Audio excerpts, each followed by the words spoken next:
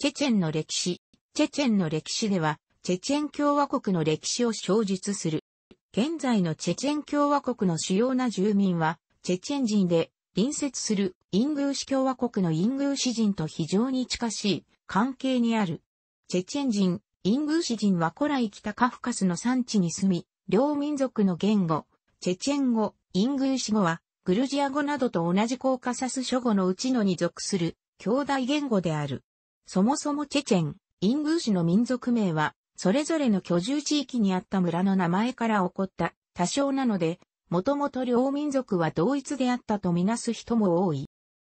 イスラム改善のチェチェン人は、自ら歴史記録を残すことはなかったが、知史の記載や考古学上の遺跡から、古くから北東カフカスに住んでいたことが明らかになっている。チェチェン人とイングーシ人の先祖と思われる民族は、7世紀の知史に記録されているという。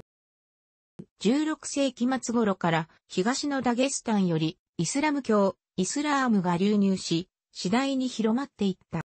一方、同じ頃にモスクワ大公国を中心に政治的統一を進め、国家形成を行っていたロシアは、17世紀末までに全シベリアを併合し、18世紀には南下を開始、バルト海沿岸、国海沿岸、カザフ草原、マンチュリア、満州東北部の沿海州などを次々に併合した。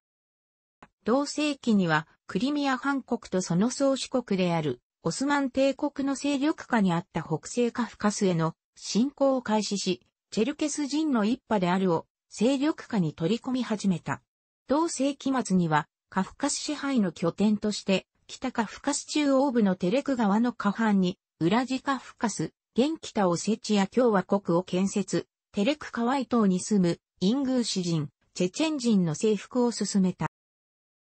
ロシアは1801年にはイランのカージャール朝を破って東グルジア、カルトリカヘティアを併合し、南カフカスまで勢力を広げた。こうして1828年までにオスマン帝国領のアジャリア、グルジア南西部を除くカフカスのほとんど全域がロシアの支配下に入るが、その中で北カフカスにあって、ロシアの支配に対して激しく抵抗たのが、チェチェン人をはじめとする、ダゲスタンとチェチニア、現在のダゲスタン共和国西部から、チェチェン共和国にかけての一帯の人々であった。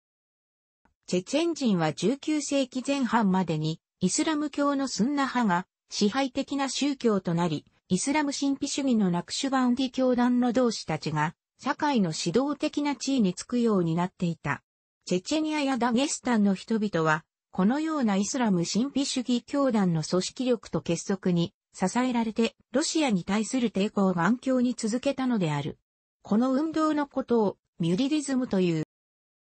1785年には、チェチェン人の同志が行ったロシアに対する組織的抵抗がミュリリズムの先駆となった。ロシアは1818年には、チェチニアの真っ只中に、グロズナや要塞、現在のグロズヌイを設し、チェチニア支配を進めようとしたが、1830年には、東部コーカサス地方のダゲスタンとチェチニアにと呼ばれる政権を建設し、25年にわたって自立を維持し、抵抗したコーカサス戦争。1834年には内部分裂してイマーム、宗教指導者が暗殺され、親イマームにシャミールが就任したが、クリミア戦争後の1859年に降伏、チェチニアとダゲスタンは最終的にロシア帝国に併合された。南カフカスのティフリス、現在のトビリシにおいて、カフカスへの支配を強めたロシアは、カフカスの諸民族が再び結集して、ロシアに抵抗することを恐れ、チェチェン人とイングーシ人やチェルケス人などの他のムスリム、イスラム教徒主体の民族を分割して統治する政策を行った。1850年代には石油が発見された。1860年、ロシア帝国はテレク州、ウラジカフカスを中心に帝国の支配機構を導入し、チェチェン管区、イケチェリア管区、イングーシ管区、山岳地域管区、シャミールのイマーム国家の古地、タゲスタンのことを置いた。一方、併合後もチェチェン人は、ナクシュバンディ教団を中心に結集し、ロシアへの抵抗を繰り返した。一部のチェチェン人は、ロシアの支配を逃れて、オスマン帝国に移住し、その子孫は、トルコやヨルダンに離散共同体を形成している。しかし、チェチェン人の抵抗にもかかわらず、ロシアのカフカス支配強化は進み、1890年代には、グロズヌイまでが付設されて、グロズヌイを中心に、チェチニアでは石油産業が発達した。1917年にロシア革命が起こり、内戦に勝利したボリシェビキ、ロシア共産党がソビエト連邦を建設すると1921年に山岳自治ソビエト社会主義共和国ができたが、ソ連は指導者、ウラジーミル・レーニンの民族自治の方針に従って、1922年11月30日には、チェチェン自治州が、1924年7月7日にはが分離された。1934年に、チェチェン自治州とイングーシ自治州が合併して、チェチェンイングーシ自治州となり、1936年にチェチェンイングーシ自治共和国に昇格した。その後、政権を握ったヨシフ・スターリンは、民族共和国による連邦制を前提とするレーニン主義に代わって、民族自治共和国を中央政府の集権的コントロール下に置こうとするスターリン主義取ったので、民族自治の実態はほとんど見られなかった。スターリン、ミコヤン、オルジョニキーゼをはじめ多くの共産党幹部がカフカス人であるにもかかわらず、チェチェン人はロシアへの併合以来抵抗を繰り返して、来た歴史からスターリン体制にとって危険視される向きもあった。1937年には、チェチェンイングーシ自治共和国でも大規模な粛清が行われ、多くの殺戮が行われた。1940年、第二次世界大戦中の1942年には、ソ連へと侵攻してきたナチスドイツ軍の一部が北西カフカスに達するが、スターリン政権はチェチェン人を含む反ロシア的な民族がドイツ軍と結んでこうすることを恐れた。ドイツ軍撃退後の1944年2月、スターリンはチェチェン人とイングルシ人に対独協力の疑いをかけ、そのほとんどはドイツ軍とは無関係であったにもかかわらず、全チェチェン人とイングーシ人50万人を中央、アジアやシベリアに追放した。多くのチェチェン人とイングーシ人が追放中の劣悪な環境のために命を落としたと言われ、一説には全体の4分の3が犠牲になったと言われる。1946年、チェチェンイングーシ自治共和国は廃止され、ウラジカフカスを含む領土の大半は北オセチア自治共和国に割譲される。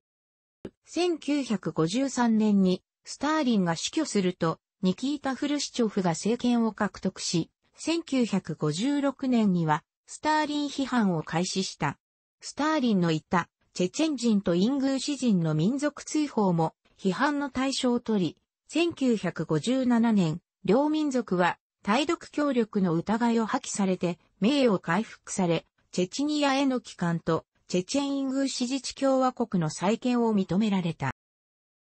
しかし、ウラジカフカスを含む西部は北オセチアから返還されなかった。また、石油産業の利益が地元に還元されず、中央政府に吸い上げられていたのも不満のもとであった。さらに、10年以上に及ぶ追放の最中に、チェチニアには、オセット人やロシア人が退去して入植していたため、土地をめぐる深刻な対立と紛争が起こるなど、問題の根本的な解決は果たされなかった。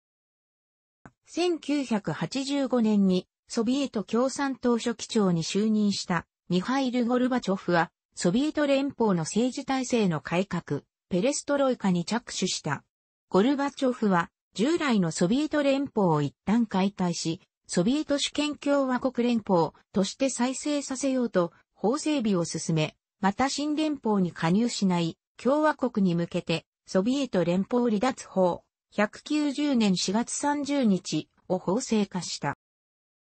ロシアをはじめ、チェチェンを含む15構成共和国は1990年2月5日に採択されたソ連共産党政治綱領に基づき相次いで主権独立宣言を行った。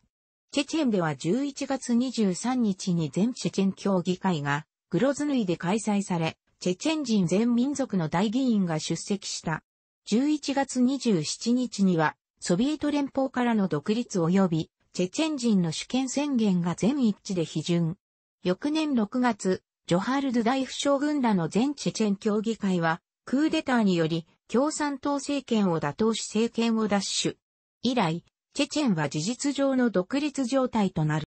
1991年8月20日にゴルバチョフは主権ソビエト連邦条約を調印する予定であったが、その前日ゲンナジー・ヤナーエフ副大統領ら保守派による反改革クーデターにより拘束される。クーデターはロシア共和国大統領のボリス・エリツィンによって失敗し、ゴルバチョフは解放されたものの、その求心力を失い8月24日にソ連共産党書記長を辞任、中央委員会に自主解散を求め、ソ連共産党の資産を凍結させた。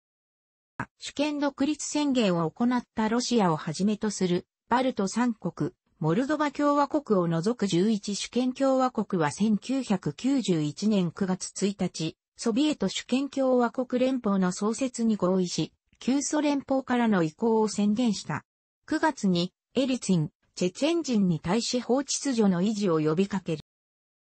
チェチェンでは、情勢の推移を受けて、ソビエト連邦離脱法、1990年4月30日に基づき、ソ連からの連邦離脱を問う、全国民投票を10月27日、憲法の規定を満たし実施した。独立チェチェン共和国の初代大統領として、ドゥダエフ将軍が選出された大統領候補者3名中の得票率は84%、イングーシ人はボイコットした。国民投票の結果、離脱要件を満たす得票が得られ11月に、ドゥダイフ将軍は1990年4月10日の法律とソビエト連邦離脱法、1990年4月30日に基づき、ソ連邦からの離脱を宣言した。この宣言は合法であったが、エリツィンは11月8日に、チェチェンイングーシ共和国の非常事態宣言を声明、チェチェンに連邦軍を投入した。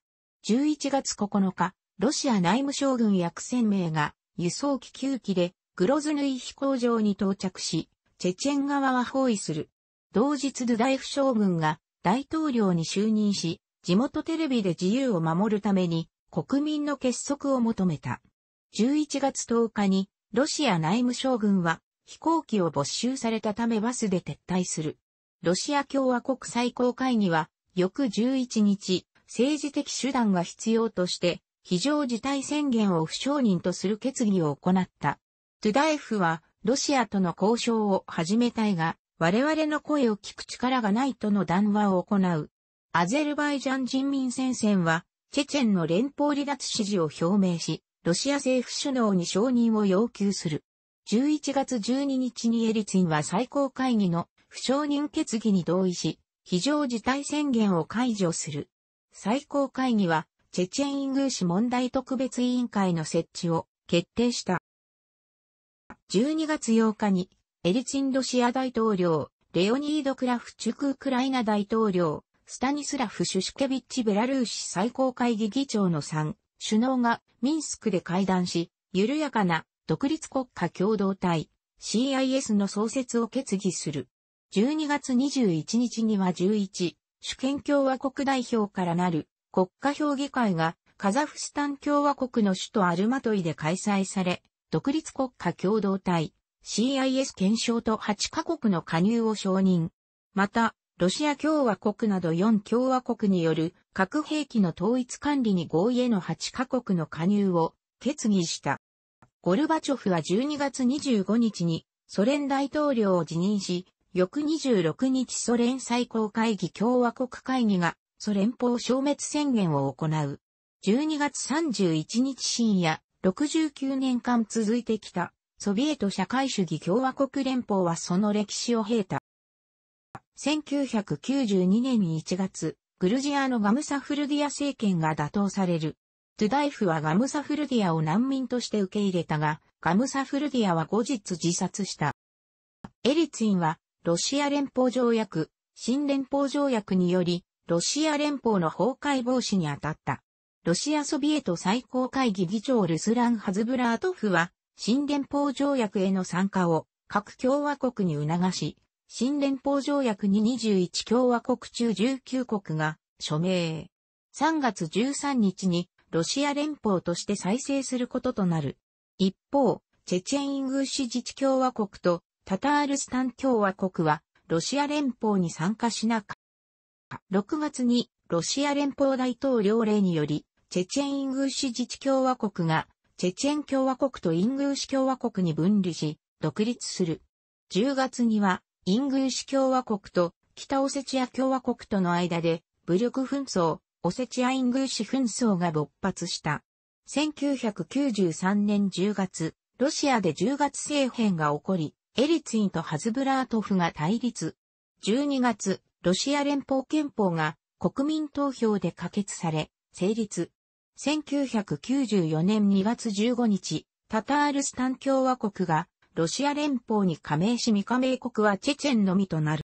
1994年12月、チェチェンの分離独立を阻止するために、ロシア軍が軍事介入、第一次チェチェン紛争に突入する。エリツィンは、憲法秩序の回復のためチェチェンへの侵攻を開始したと主張した。翌年には、ロシア軍が首都のグロズヌイを制圧。ロシア軍が広域にわたって支配権を回復したことで、エリツィンは一方的に休戦を宣言し、軍の撤退を始めた。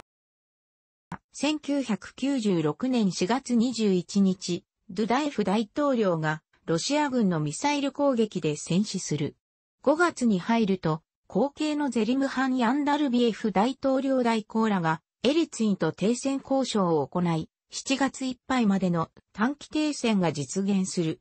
8月には、チェチェン軍がグロズヌイを奪還、同月末に独立派のアスラン・マスハドフ、参謀総長が、ロシア連邦のアレクサンドル・レベジ、安全保障会議書記と停戦合意する。ハサブユルと和平合意その内容は、チェチェンの独立を5年間凍結し、国家としての地位は2001年に再度検討するというものであった。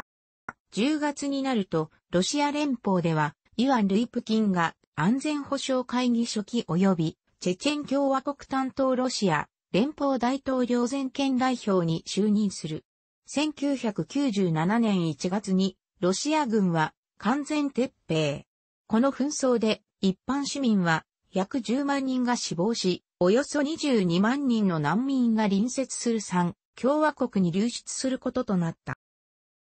1997年1月28日に大統領選挙が実施され、マスハドフが大統領に選出された。この選挙には、日本の NGO、市民平和基金も選挙監視員を派遣している。5月12日に、モスクワで、マスハドフ大統領とエリツィン大統領の間で、平和と相互関係に関する条約が締結される。この条約によって、両国間の400年に及ぶ戦争の終結が宣言された。後に、アンドレイ・サハロフの未亡人エレーナ・ボンネルは、この戦争はエリツィン再選のために仕組まれたものとアメリカ上院議会で証言した。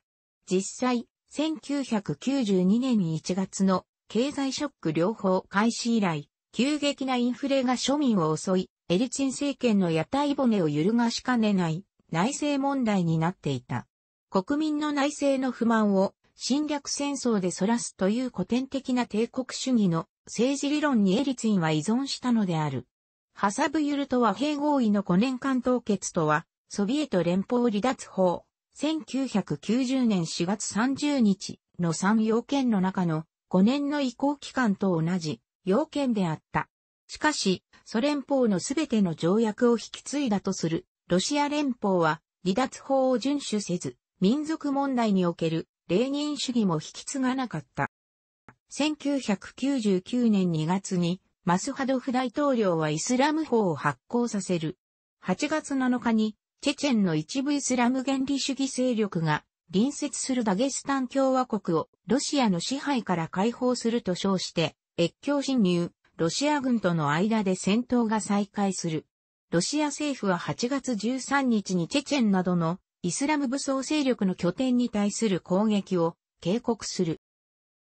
8月15日にマスハドフ大統領はチェチェン国内に非常事態宣言を発した。9月4日にはダゲスタンで軍人家族用アパートが爆破される。64人が死亡し133人負傷した。9日にはモスクワのアパートが爆破、94人が死亡し164人が負傷する。13日は9日のテロの犠牲者の追悼の日と定められたが、モスクワで再び119人の死亡者を出す爆弾事件が発生した。16日にも南ロシアボルゴドンスクで爆破事件が発生、17人が死亡し72人が負傷した。モスクワ当局はこれら一連の事件、計5件、死者約300人はチェチェンのイスラム原理主義者が関わっていたと断定する。エリツィンは全国的な対テロリズム作戦開始を宣言し、9月14日から20日にかけて2万から3万人強のロシア軍がチェチェン国境に集結することとなった。1999年10月1日にロシア地上部隊がチェチェン侵攻を開始する。ウラジーミル・プーチンロシア連邦首相はマスハドフ政権の合法性を認めず、チェチェンの分離独立派排除を試みる。マスハドフは10月5日に全土に戒厳令を発布する。2ヶ月後の12月4日には、ロシア軍がグロズヌイを完全包囲したと発表。同月末の25日には、本格的な制圧作戦を開始する。2000年2月には、チェチェンの武装勢力がグロズヌイからの撤退を表明。この時点で、ロシア軍側の戦死者は1500名以上に及んでいた。4月にメアリー・ロビンソン国連人権高等弁務官がチェチェンを訪問する。彼女は後に国連人権委員会でチェチェンでの人権侵害はロシア軍によるものとして非難した。欧州評議会では一時期ロシア代表の投票権が停止され、評議会からの追放も議題に上ることとなった。後にエレーナ・ボンネルは、エリツィン大統領が自ら指名した後継者のプーチン、現首相が世論調査で支持率を上げるために必要として紛争を開始したとアメリカ上院議会で証言した。2001年9月11日、アメリカ同時多発テロ事件が発生し、ロシア連邦もアメリカの反テロ同盟に加入。以後、ロシア連邦のチェチェンに対する攻勢が一段と強まる。チェチェン武装勢力のアルカイダなどとの連携が指摘された。楽しくご覧になりましたら、購読と良いです。クリックしてください。